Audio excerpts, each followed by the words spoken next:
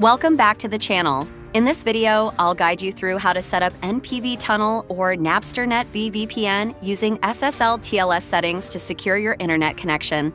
We'll go step by step, taking things slowly so you can follow along easily. Don't forget to like, share, and subscribe for more VPN tutorials. Step 1. First, we need to create an SSL server. Open any browser and type UDP Custom into the search bar, then press Enter. You'll see different search results.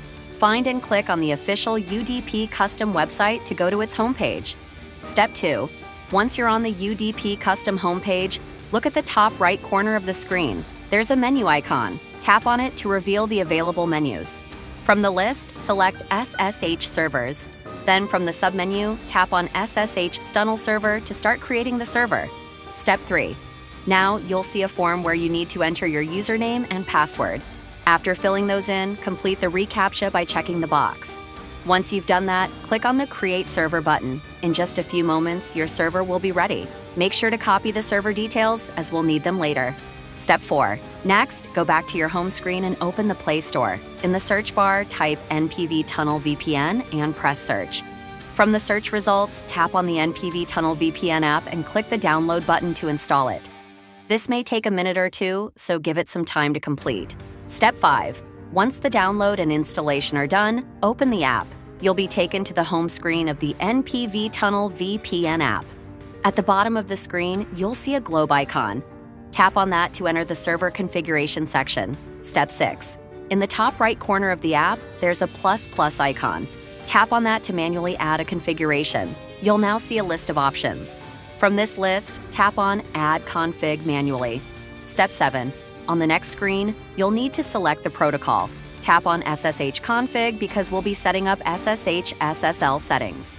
Let's start configuring each part of the SSH SSL settings one by one. Step 8.